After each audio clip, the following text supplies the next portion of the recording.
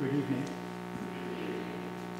In our, our worship this evening uh, takes its focus from the fact that this is Saints Triumphant uh, Sunday coming up, uh, where we uh, give thanks that the Lord has safely called home to glory those who have fallen asleep in Him. We begin with our opening hymn for all the saints.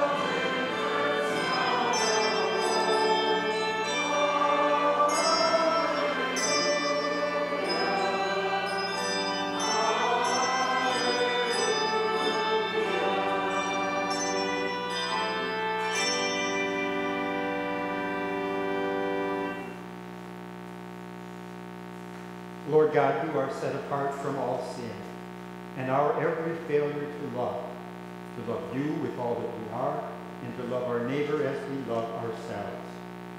We see our guilt. We stand silent before you. We have nothing to say in our defense.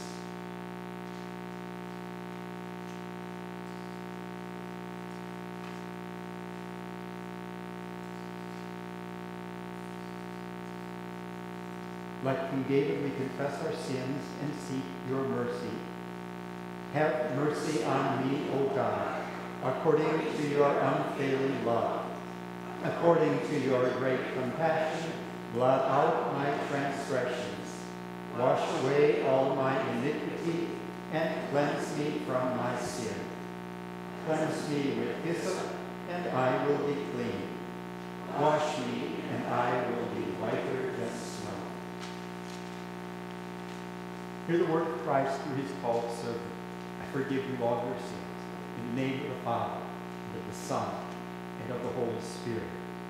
Because of his great mercy, God has made us alive in Christ even when we were dead in our sins. This good news leads us to sing God's praises with joy and gratitude. O Lord, open my lips.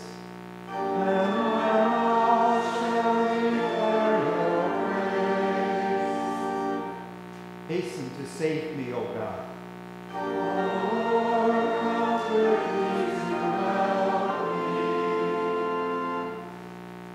The Lord be with you.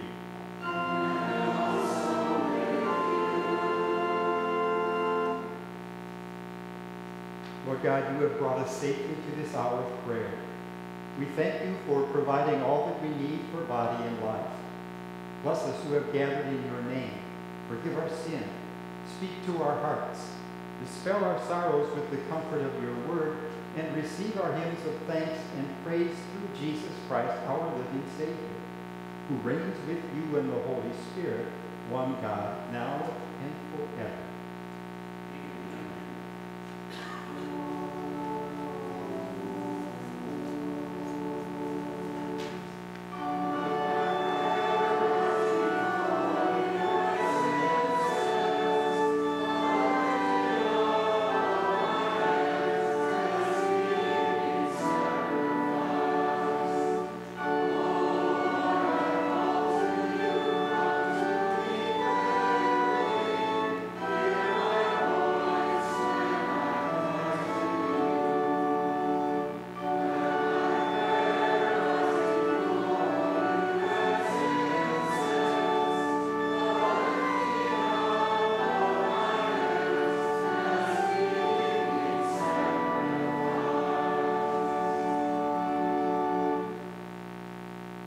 Let our prayers be acceptable in your sight. Come and help us in time of need that we may sing your praise in holy joy now and forever through Jesus Christ our Lord. Our first lesson for Saints Triumphant Sunday, Isaiah chapter 52, verse 1 and following. Awake, awake, Zion, clothe yourself with strength. Put on your garments of splendor, Jerusalem, the holy city. The uncircumcised and defiled will not enter you again. Shake off your dust, rise up, sit enthroned, Jerusalem. Free yourself from the chains on your neck, daughter Zion, now a captive. For this is what the Lord says. You were sold for nothing, and without money you will be redeemed. For this is what the sovereign Lord says. At first, my people went down to Egypt to live. Lately, Assyria has oppressed them. And now, what do I have here, declares the Lord? For my people have been taken away for nothing, and those who rule them mock, declares the Lord. And all day long, my name is constantly blasphemed. Therefore, my people will know my name. Therefore, in that day, they will know that it is I who foretold it. Yes, it is I. This is the word of the Lord.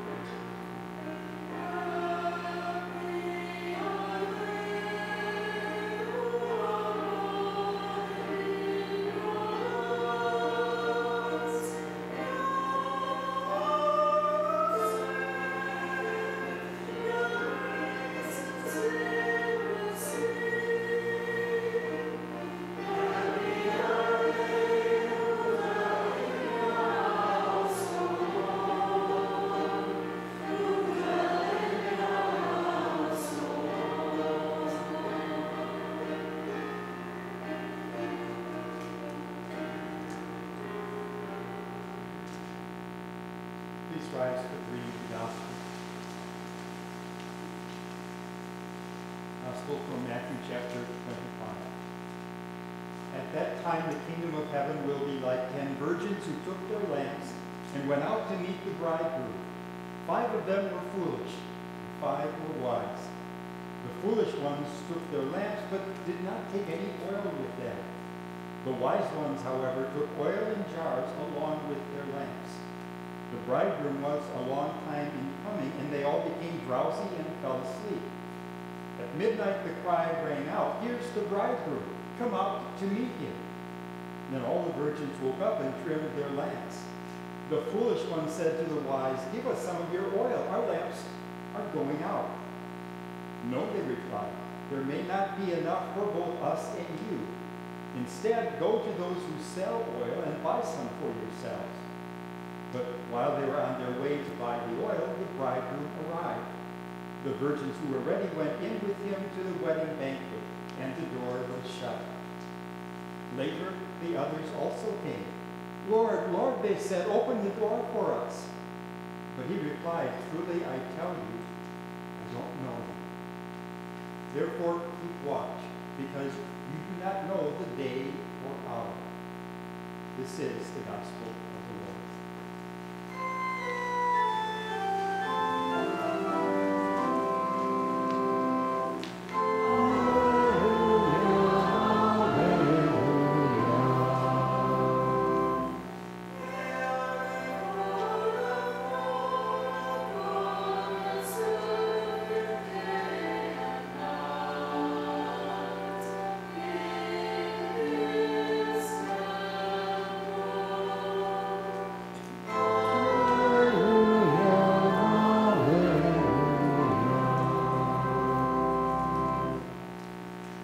children's message tonight, you can stay in your pews, and it's a message for children of all ages.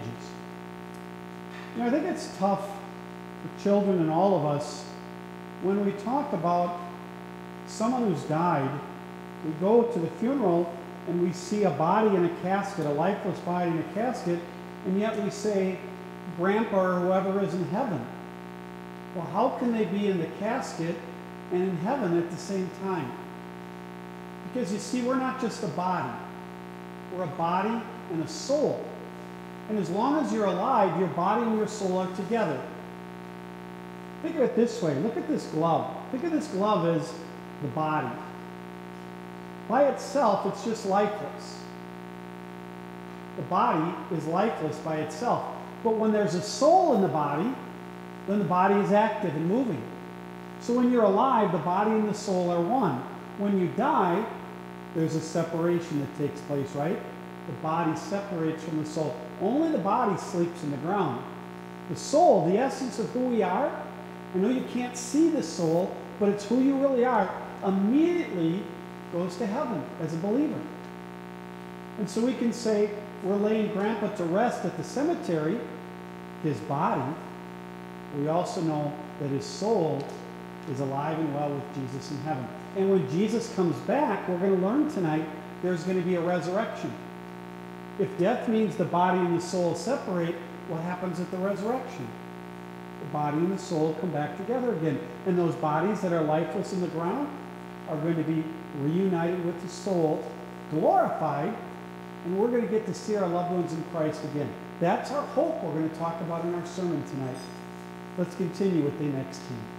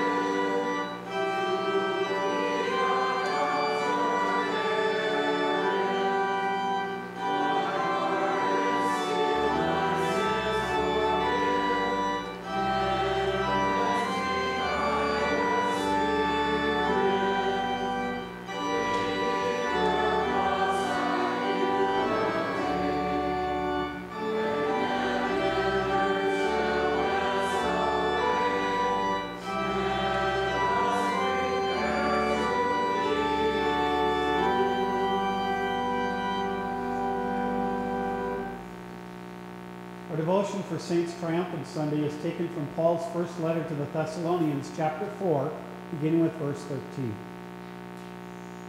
Brothers and sisters, we do not want you to be uninformed about those who sleep in death, so that you do not grieve like the rest of mankind who have no hope. For we believe that Jesus died and rose again. And so we believe that God will bring with Jesus those who fall asleep in him. According to the Lord's own word, we tell you that we who are still alive, who are left to the coming of the Lord, will certainly not precede those who've fallen asleep. For the Lord himself will come down from heaven with a loud command, with the voice of the archangel and the trumpet call of God, and the dead in Christ will rise first. After that, we who are still alive and are left will be caught up together with them in the clouds to meet the Lord in the air. And so we will be with the Lord forever. Therefore, encourage each other with these words. This is the word of our God. Dear friends in Christ, there is no scene on the TV news or a YouTube video more emotional that tugs at your heart more than those wonderful reunions where a military soldier comes home to his or her family, right? Very often there's this big surprise celebration. Uh, they show up at their child's school or in the gym. Maybe they're hiding behind a costume, and you just can't beat that moment, can you? I mean, there's tears of joy, and there's laughter, and there's hugging, and there's screaming, and there's celebration. It's so wonderful to be together again. What you don't see is that painful separation that preceded that joyful reunion. And I think really only military families know what this is all about. That day when your loved one has to ship off, maybe far away, away from spouse and from children, maybe going on duty to a dangerous place like Afghanistan or Iraq, or back in World War II, some families wondered are they even going to come back again? Am I ever going to see my loved one again? And so those reunions, when they do come back, are absolutely spectacular. Yes, the greater the pain of the separation, the greater the joy of the reunion. You know, there is a separation more painful and more severe than those that are faced by military families. And that is the separation from a loved one caused by death. That is so very hard to deal with. And you can have all the Christian faith in the world, and it still hurts deeply. That special person who meant so much to you has been taken from you. You don't have their warmth and their laughter and their presence, and it leaves a big hole in your heart and in your life, making you feel often lonely and sad. And that separation of death, it just seems so final. Because we speak of the cemetery as the final resting place, right? We have to close the casket and say goodbye for the last time. And it's so hard to leave the cemetery after that committal service because there's this thought that we're never going to see our loved one again. That's so tough to take. You know, even Jesus felt that painful ache from the separation and the death of a loved one. Remember, Jesus attended the funeral of his friend Lazarus? And I'm always amazed how Jesus acted that day because he knew for a fact that he was going to raise Lazarus from the dead in just a few moments. And yet, still, he was filled with grief and anguish over this loss. You know the shortest verse in the Bible, right? Jesus wept. Jesus grieved. How come? Because Jesus' heart went out to Mary and Martha and all of Lazarus' friends as they felt that painful separation. And I know that Jesus' heart goes out to you when you mourn the loss of a loved one today. And I think Jesus knew that soon he was going to experience that painful separation of death on the cross as our substitute. And so Jesus wept. And Jesus grieved. Jesus knew that death is not natural. Oh, I know people say death, it's a natural part of life. It's been going on for millions of years. Death and struggle is how we evolved to where we are today. That's nonsense. In the beginning, God created Adam and Eve in perfect holiness and harmony. There was no death or sin or evil. They were intended to live in harmony with God forever on a paradise on earth. That all changed when Adam and Eve disobeyed God's command.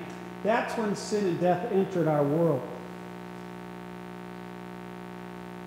Bible tells us in Romans chapter 5 sin entered the world through one man, and death through sin. And in this way, death came to all people because all sin. Yes, death is the direct result of the entrance of sin in this world, and now we all experience it unless Jesus returns first. And so Jesus wept and Jesus grieved. And so do we today. Please don't think it's wrong to cry or weep or grieve or mourn at the loss of a loved one. That's not what Paul's saying today. What does Paul say? I don't want you to grieve like the rest of those who have no hope. We have hopeful grieving. Because of Jesus, we know that death is not final. The cemetery is not the end of the line or the final resting place. Our sins are not fatal. The grave doesn't have the last word. Jesus does. Jesus conquered death and brought life and immortality to life through the gospel. That's the good news Paul's sharing with us in our devotion tonight.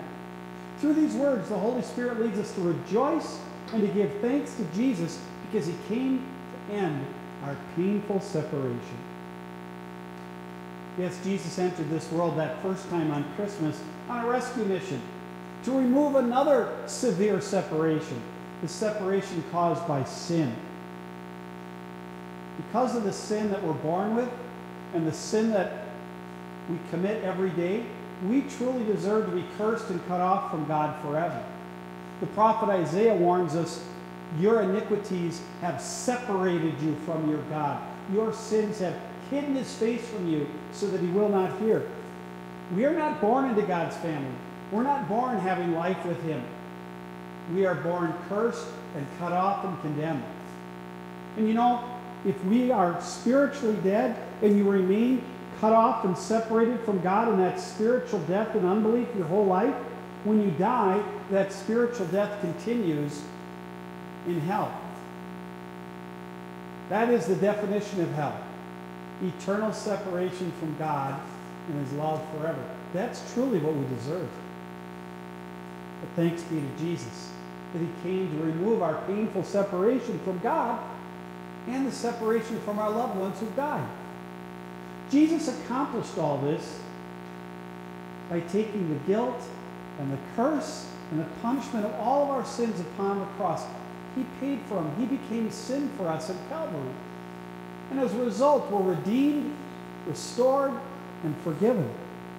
And Jesus, He met the requirements of God's law in our place so that God can now accept us. And the door to heaven stands wide open. Yes, we have life, new life in Christ. Do you realize that we have eternal life right now? We like to think of eternal life as something you're going to have someday when you die. But Jesus said, when He brings you to faith, you cross over from death to life. You have life forever. All that dying thing, that's just going to be your body resting in the ground for a while. But that life will continue face to face with Jesus. You're just going to transfer from the kingdom of grace to the kingdom of glory. That is our sure hope in Christ. Listen again to Paul give us that assurance in our devotion tonight. Brothers and sisters, we do not want you to be uninformed about those who sleep in death, so that you do not grieve like the rest of mankind who have no hope. For we believe that Jesus died and rose again, and so we believe that God will bring with Jesus all those who fall asleep in him. According to the Lord's own word, we tell you that we who are still alive, who are left till the coming of the Lord, will certainly not precede those who fall asleep. For the Lord himself will come down from heaven with a loud command, with the voice of the archangel, and with the trumpet call of God, and the dead in Christ will rise first. After that, we who are still alive and are left will be caught up together with them in the clouds to meet the Lord in the air. And so we will be with the Lord forever. Therefore, encourage each other with these words. Now, friends, it's important that we understand the context in which these words were written. The Thessalonian Christians were believing that Jesus' return was going to be imminent, imminent, that he was going to come back right away in their lifetime. And they were concerned about their loved ones who died. When Jesus comes, are they going to miss the bus? Is he just going to sweep through and take them to heaven and they're going to be left behind? And so Paul assures them don't worry. When Jesus comes back, the first thing he's going to do is raise the dead. Here, the context is believers. So he says, first, the dead in Christ will be raised. Now, actually, Jesus is going to raise all the dead. As I said to the children, life means that your body and soul are connected. And so death means there's a separation. The body sleeps, the body rests in the ground. The soul goes immediately to heaven or hell. Both Paul and our Savior Jesus describe death as a sleep from which we will awaken. And that's going to take place at the resurrection. Every body will be reunited with a soul. And it doesn't matter if that body was buried and decayed, or cremated, or disintegrated. Don't you think God, who could create the world out of nothing, can recreate a body out of dust and ashes and reunite it with the soul? And God tells us that Christians will enjoy a glorified body, totally uncorrupted by sin. That means if you last saw your loved one in tough shape, maybe in a hospital bed or a hospice center with tubes and pain medicine, dealing with cancer or Alzheimer's or other diseases, when you see him again, you're going to see him healed, healthy, and whole. The same person with a glorified body, totally uncorrupted by sin.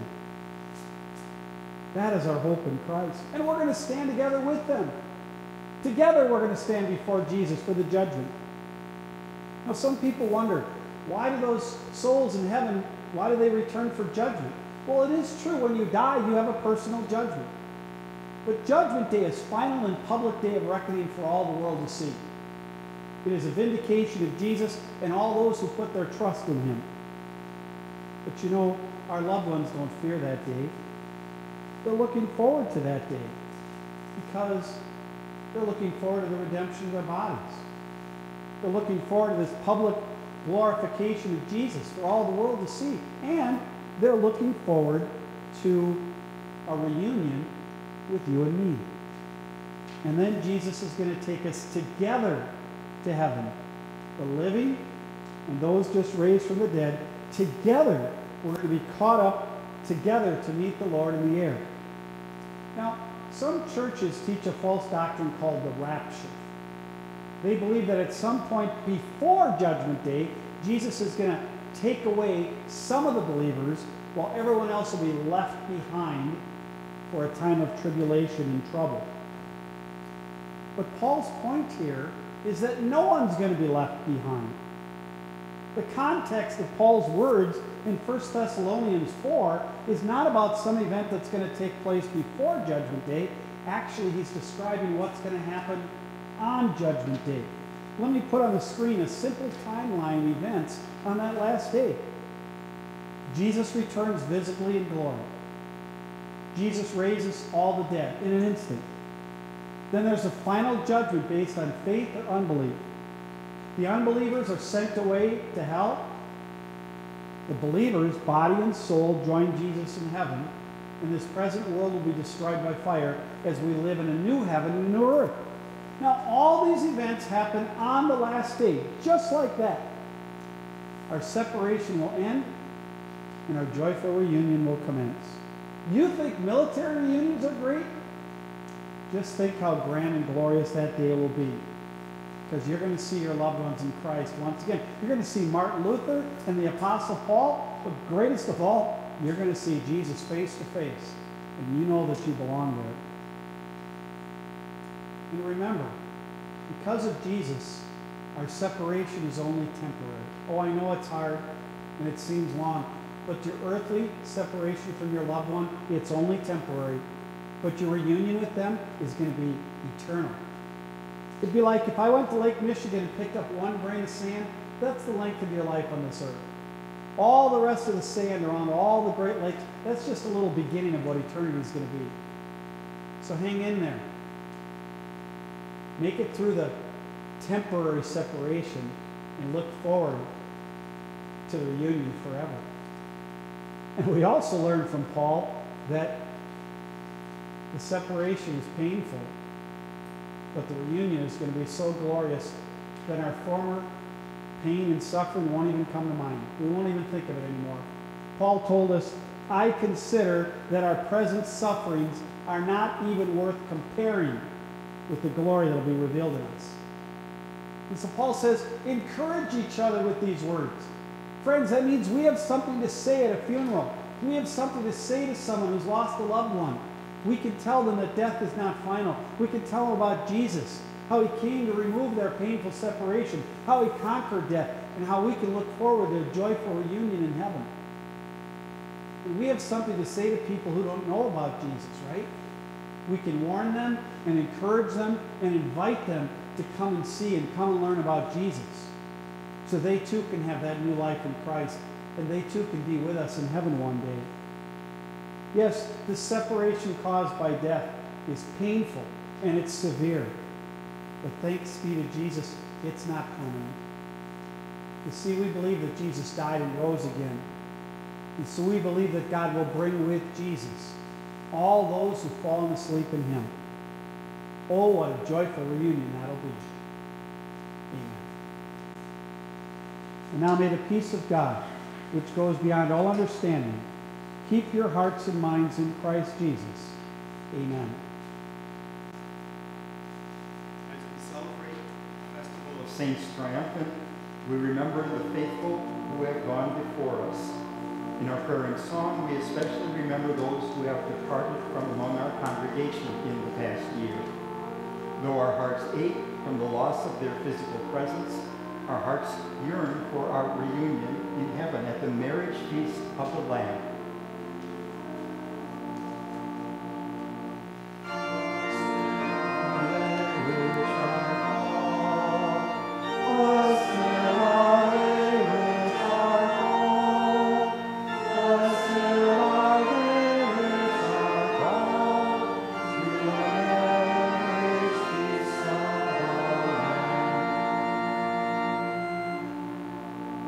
Eternity and King of saints, all the heavens adore you. Saints and angels sing before you.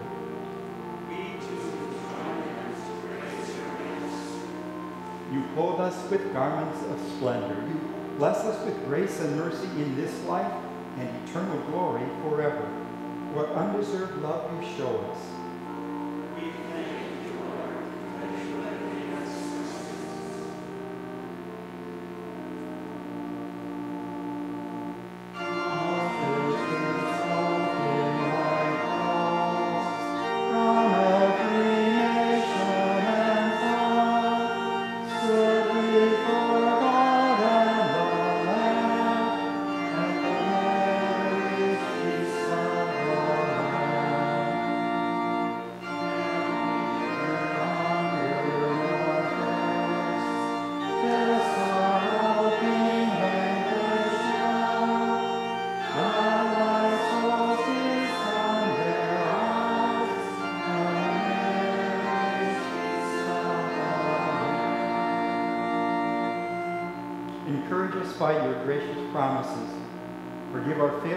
Live as you desire. Strengthen the faith of all who are weak and wandering.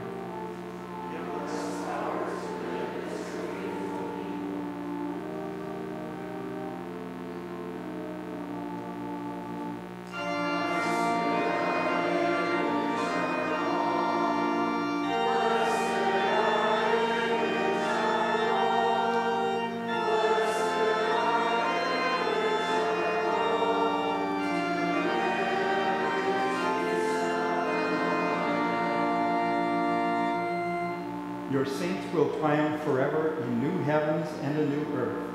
The sound of weeping and crying will be heard no more. We anticipate with joy an eternity of perfect fellowship with you.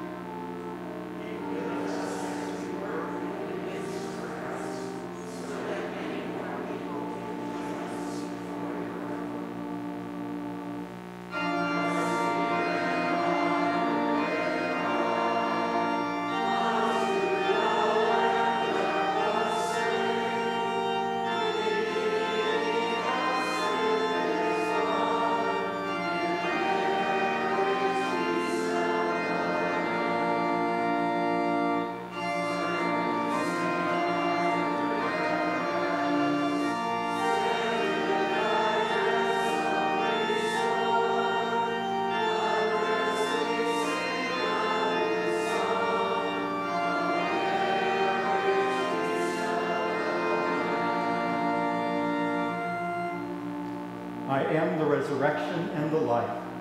He who believes in me will live even though he dies.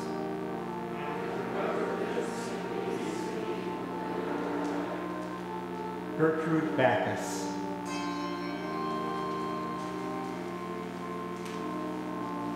Since then you have been raised with Christ, set your hearts on things above, where Christ is seated at the right hand of God.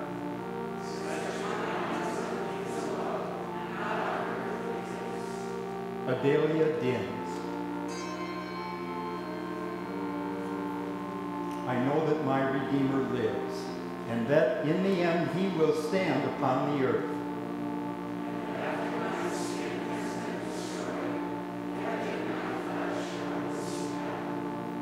And Father,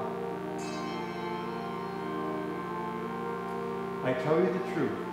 Whoever hears my word and believes in him who sent me has eternal life and will not be condemned.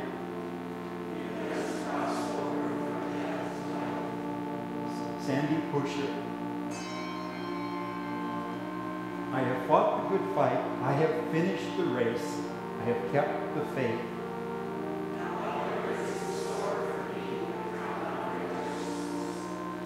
Betty Colway.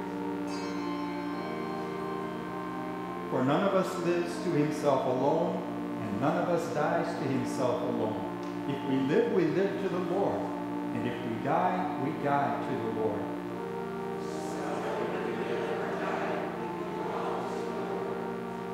Kathy Luckman. Jesus, remember me when you come into your kingdom.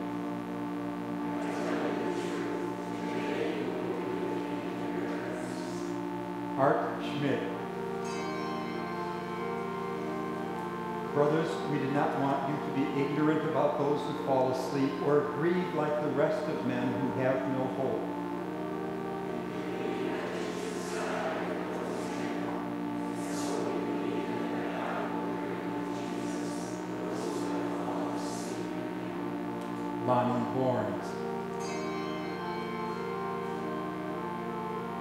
Day they will say, Surely this is our God.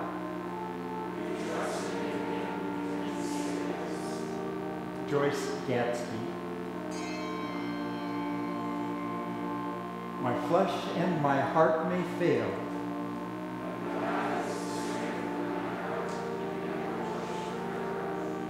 Jim Laubenstein.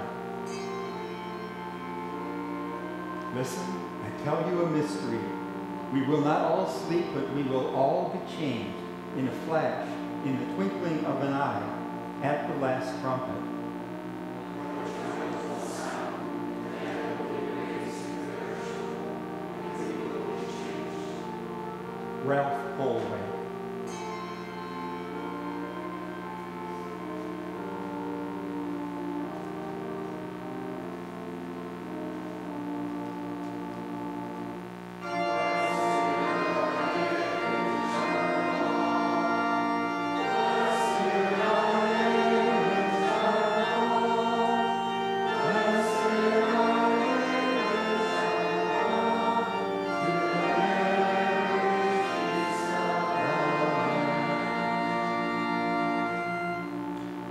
Life, the day is coming when you will come down from heaven with the voice of the archangel and the trumpet call of God.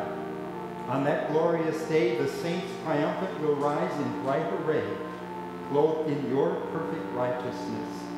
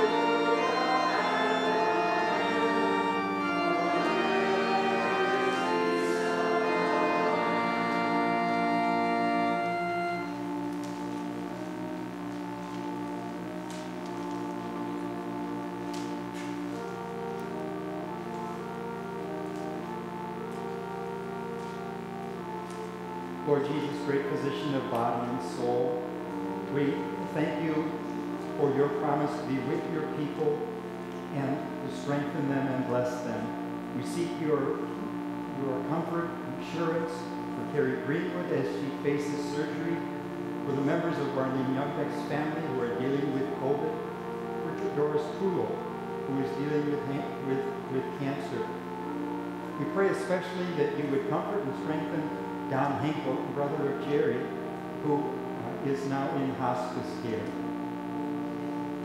Strengthen them by your Spirit and assure them of your love.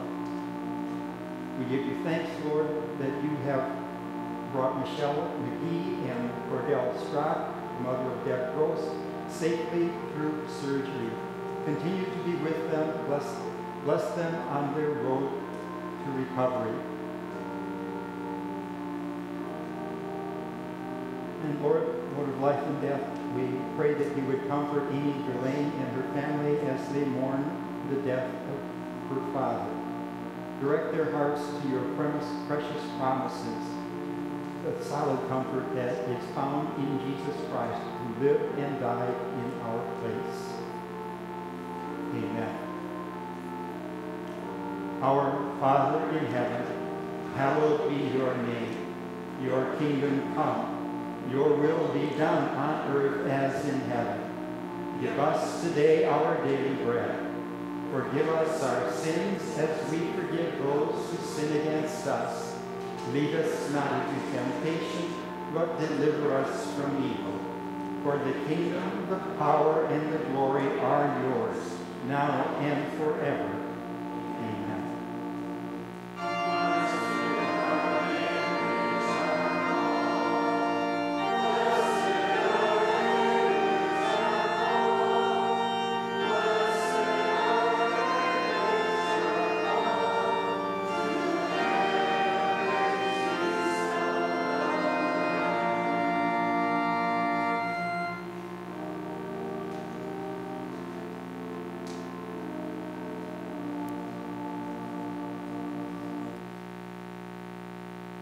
In the closing hours of this day, hear us as we pray, O Lord.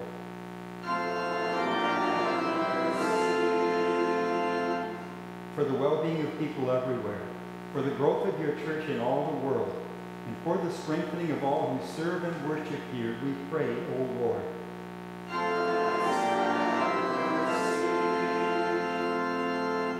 For one another, young and old, for your blessings that come with every stage of life, and for joy in doing your will. We pray, O Lord.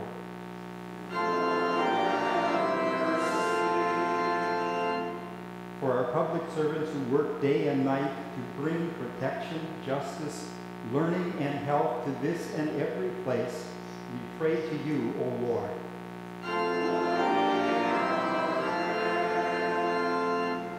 For favorable weather and bountiful harvests, for clothing and food, for health of body, mind, and spirit, and for deliverance from all sin and every form of evil, we pray to you, O Lord.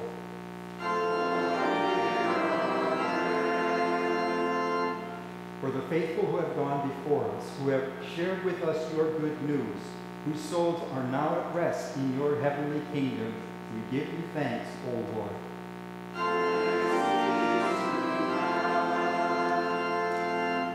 In thanksgiving for your many and varied gifts to us, we now commend ourselves to your care. Be our shield and strength, O Lord.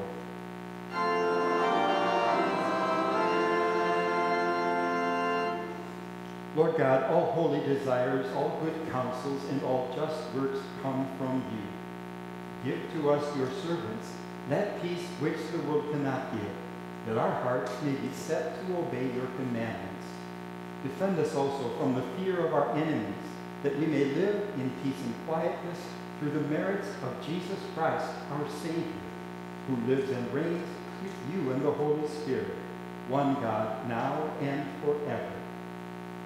Amen.